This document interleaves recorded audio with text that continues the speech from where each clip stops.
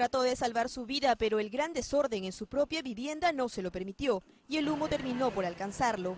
Antonio Valdés Ponce, médico radiólogo de 66 años, falleció esta madrugada asfixiado en su departamento, ubicado en el segundo piso de este edificio, en el Girón Sánchez Pinillos, en el cercado de Lima.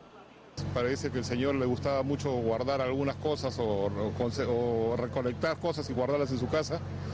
Gran parte de estas cosas que estaban ubicadas en el ingreso de la vivienda han sido lo que ha generado el, el incendio, ¿no?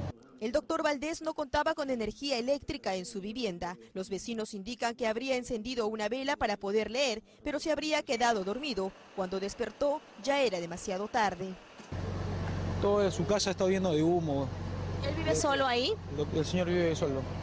Él tenía insumos de, para revelar las radiografías, los ácidos que son. Este ropero quedó completamente calcinado y habría estado ubicado junto al ingreso del departamento, motivo por el cual nunca pudo escapar. Los vecinos tuvieron que romper la puerta para poder ingresar a la vivienda. Miembros del Cuerpo General de Bomberos, Serenazgo y la policía acudieron a la emergencia.